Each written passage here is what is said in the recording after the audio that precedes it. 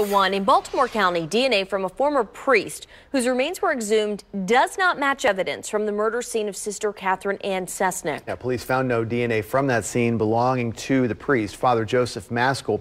Police have been trying to solve the nun's murder now for nearly 50 years.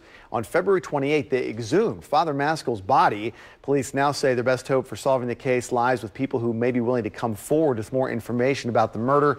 Sister Cesnik's body was found in the Lansdowne area back in January of 1970, several months after she disappeared. She was last seen at her apartment in southwest Baltimore, leaving to run errands in the Edmondson Village area.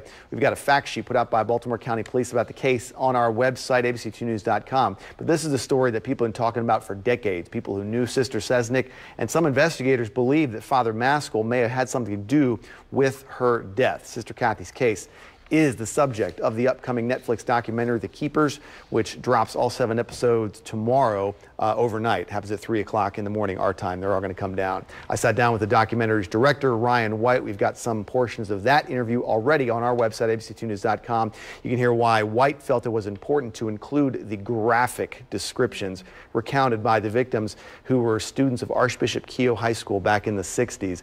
And the, the really the series rises and falls on whether you believe these women or not.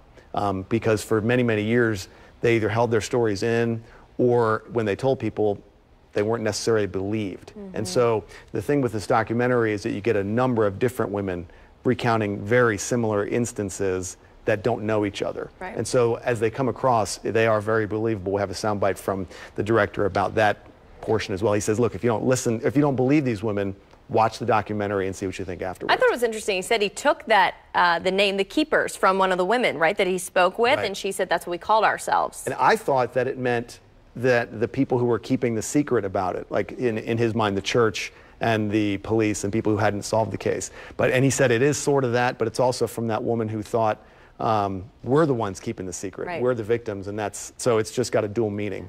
It's very interesting. And I know we don't have much time, but do we know why why this case in particular grabbed his attention? He saw an article that the City Paper had written back in 2004 about this case because they went and dug, dug it up again. Um, there was some movement on it back in the 90s when two women came forward as Jane Doe and Jane Roe, uh, making these accusations against Father Maskell, but that never went anywhere. So the case pops up here and there, and he saw it when it popped up in 04 and when it started interviewing these people. Been working on it three years. Wow. Yep. Well, those, you know, the crime documentaries are so fascinating, but to have it be here.